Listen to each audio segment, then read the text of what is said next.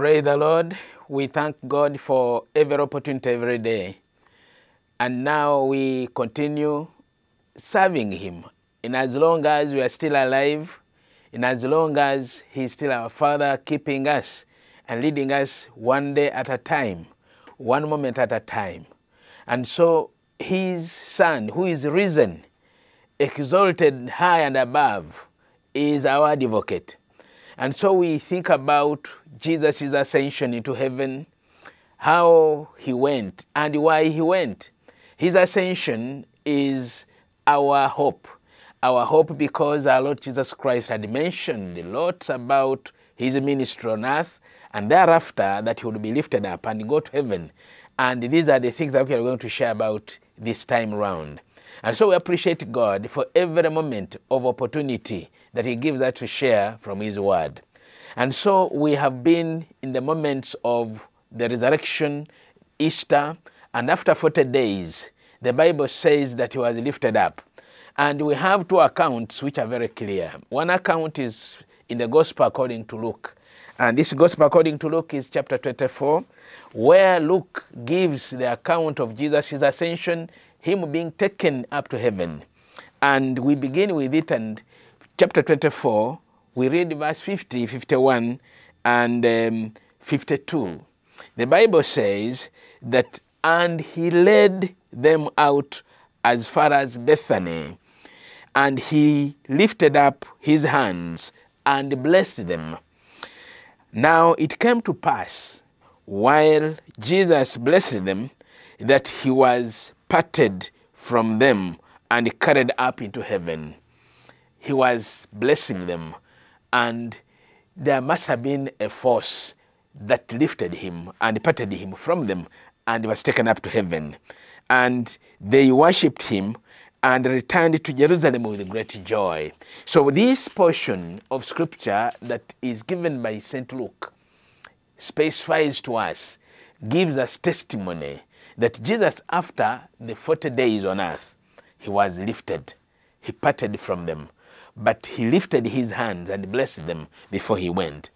Now, another account is in the book of Acts of the Apostles by the same author. And the same author is St. Luke.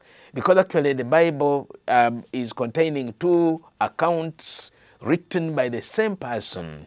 And these two accounts are one I've already given Luke 24, and another one is in Acts of the Apostles, chapter 1.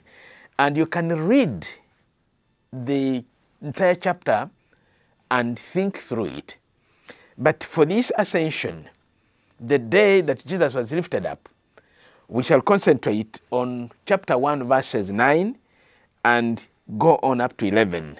And the Bible says, Now when he had spoken these things while they watched, he was taken up, and a cloud received him out of their sight. And while they looked steadfastly toward heaven, as he went up, behold, two men stood by them in a white apparel, who said to them, Men of Galilee, why do you stand gazing up into heaven? This same Jesus, whom you who was taken up from you into heaven, will also come in the like manner as you saw him go into heaven.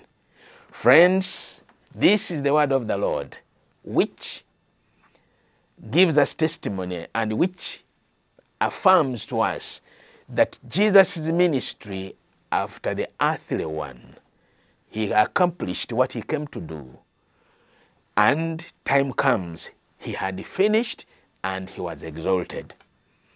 The very first lesson that we pick from here is when we start work, when we are put here, we need to accomplish that for which we are put here. We must do our work and finish. Jesus accomplished it. And after he had accomplished, he was lifted up. It was glory. And so, this is something very important that while you are still here, do what you are put here to do. You finish, you go to another assignment. Now, Jesus finishes the earthly ministry and he goes to another assignment that is slated for him in heaven. And the Bible says that he was lifted up and he went back into, into heaven. This is very important, very, very important for me and you. And so, this ascension signifies success. Success in earthly ministry.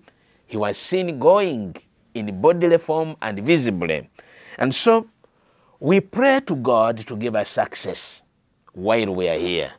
And you who is there, and me who is here, and everywhere else, as long as you still have life, pray that God gives you success. And Jesus was lifted up, and we see him go in Scripture. And so he is our great high priest who had gone, who went up to heaven. And the Bible says that he goes to prepare places for us. Other scriptures do mention. The book of Hebrews gives a lot of attention to Jesus' work on earth as a sacrifice. On Jesus' attention gives to work of Jesus Christ as a high priest and who accomplished his work and ascended into heaven. And so, the reason why in Hebrews chapter 4, verse 14, the Bible says that we need to hold fast on the faith that we confess because he's alive and because he's ascended. So holding fast onto the faith because what he promised was fulfilled. And this is this is what makes Christianity unique among all other faiths, all other religions in the world. And in Hebrews chapter 1, verse 3, the Bible says that after making purification for our sins, and this is what brought him, of course, he sat down at the right hand of the Father. And after he accomplishes, he sits down at the right hand of the Father. And so for me, it remains a challenge, it remains an encouragement, really, that when I'm given an assignment, I need to accomplish it. Before you sit down and say, Yes, all is done. Now, Jesus gives us an example that when he goes up to heaven, he sits at the right hand of the Father because he had accomplished what had brought him. Now, we can now draw near to God at his throne of mercy, at his throne of grace because he has gone there. He was one of us here. And so we can now affirm very clearly that the confidence is there, that our own is there. Our Lord Jesus Christ is there. And so, friends, that is actually something very important that I wanted to put across about this ascension. One other thing that I wanted to put across that I have read, that I have thought through, and which you already know, but we keep encouraging ourselves day in, and day out, so that our fire does not go out. So we keep encouraging ourselves in these matters. So ascension, as Jesus goes to heaven, it assures us of an advocate with the Father, and it's actually connected with what I've already said. As he sits at the right hand of the Father, he pleads with the Father for us, with the Father for us. Sinners, he says they are there, and as Israel is at the throne of mercy, still pleading with God, forgive them.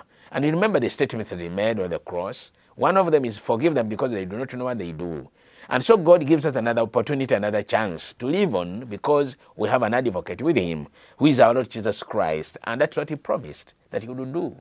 And so what is incumbent upon us is we need to take the time, utilize it profitably as Peter puts it, some people think that it's a delay of sorts, that actually Jesus is coming, he has delayed. And Peter says, no, it's not a delay.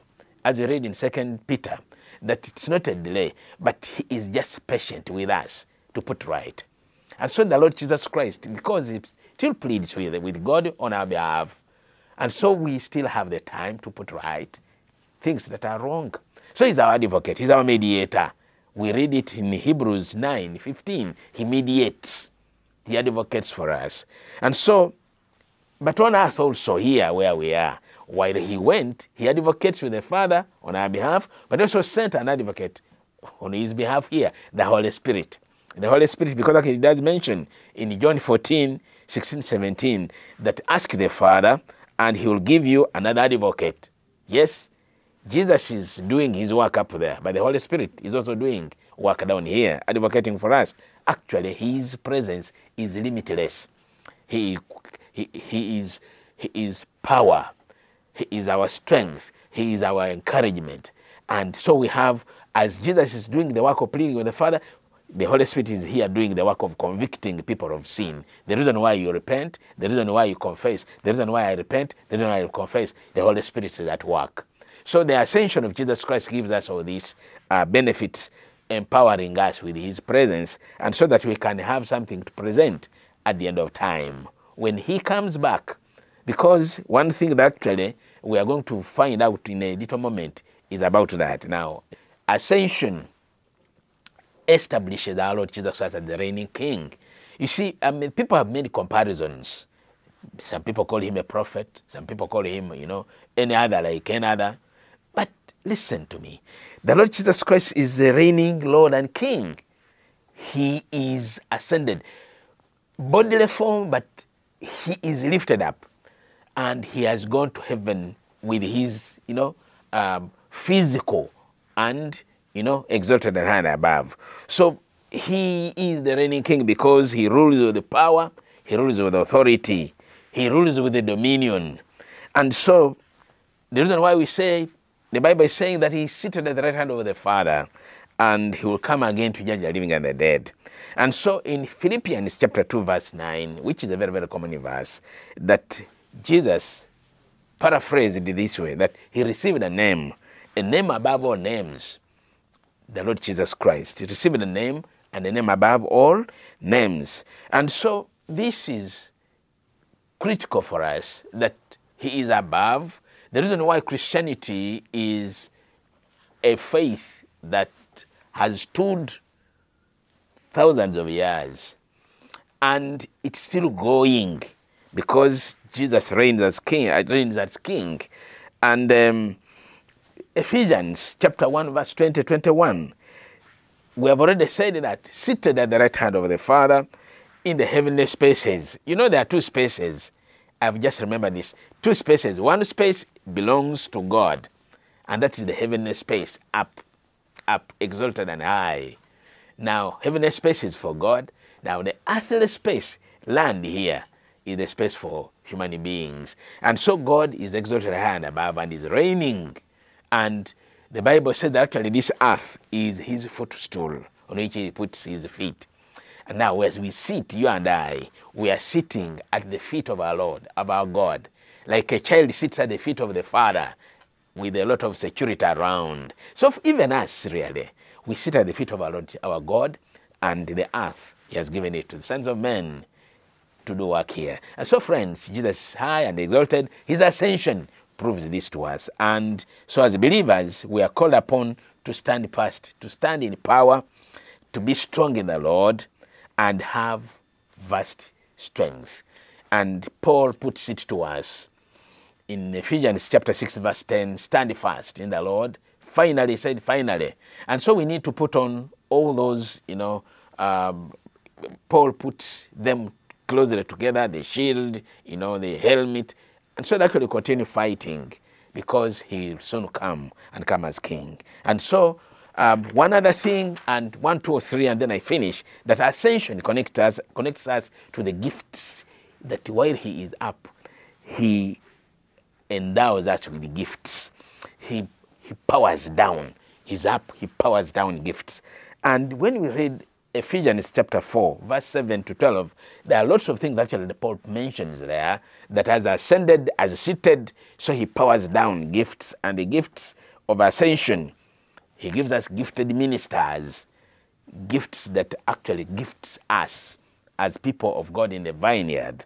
And the reason why he does mention something here that actually he has apportioned some to be apostles, some to be prophets, some to be evangelists, some to be pastors, and some to be teachers. The fivefold ministry is as a result of the ascended Lord and Savior Jesus Christ. And this team plays the role. And we are gifted to do this. And so we receive these benefits from the ascended Lord. And we get gifted leaders ministers who are needed in edifying the body of Christ. So as we wait for him to come back, he has gifted us with this gift, with these ministers, gifted to edify the body of Christ. the apostles, the prophets, the evangelists, the pastors, and the teachers. And we shall find time and we shall actually explain a little bit more about the roles of each of these. And I promise that actually shall find time and do that. So that this is for the edification, this is for the strengthening of the people of God. And this is important for you and me to know that actually we are gifted because Jesus is the one who powers these gifts from up and we receive them. And we have these ministers in our midst. And so what do they do? Uh, that will be another topic of another day. And finally, his ascension enabled us to long, to long wait, wait, wait, wait for his coming back.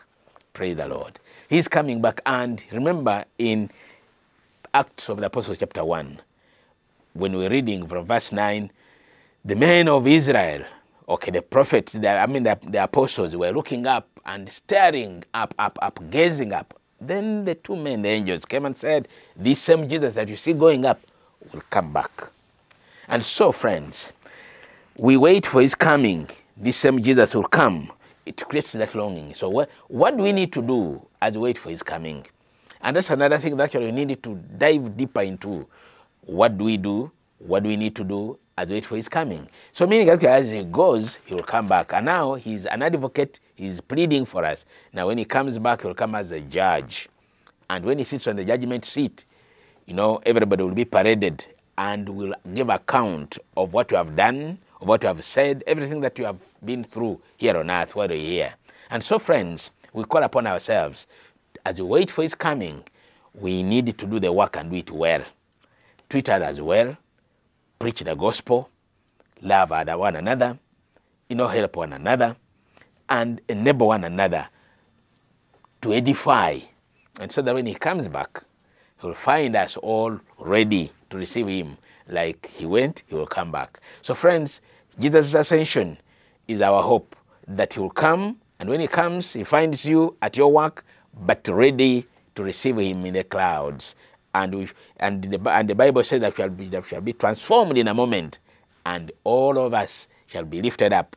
And, you know, transformed in a moment, how? To receive spiritual bodies, so that we are able to fly and go with him. Because this physical body cannot. And that's why the transformation is needed. So we need to transform ourselves bodily, I mean, our actions transformed so that actually we shall line we shall be aligned uh, with his holiness, His righteousness. May God bless you and watch over you as you contemplate upon this, uh, the ascension of the Lord Jesus Christ, which gives us a hope for His second coming. May God bless you and watch over you. In the name of Jesus Christ our Lord. Amen.